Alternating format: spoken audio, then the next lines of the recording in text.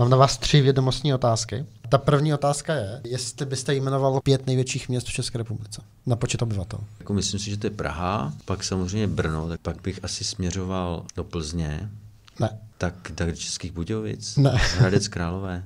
No. Všechny, co říkáte, jsou v top 8, ale na třetím Ale- místě je Ostrava, Jo, Ost, jež, jež, jež, pak je Plzeň jo? Jo, a no. páté byste dal Mm, Tak Ústí nad Labem, nebo, Liberec. Liberec, jo. Hmm.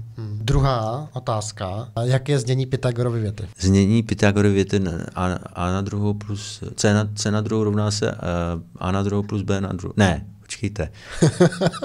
No prostě součet odvě se na druhou rovná se přeponě na druhou, tak. Jo, jo. Třetí otázka. Jak se jmenuje třetí díl Harryho Pottera? Všichni jsme na ně koukli, ale to vám taky neřeknu. Tohle, Nejste fanoušek. No taky nejsem takový, jako že bych to, ale, ale mám je všechny skouklí, ale nedám to, myslím. Když mi napovíte první slovo, tak bych to možná dál. První je kamen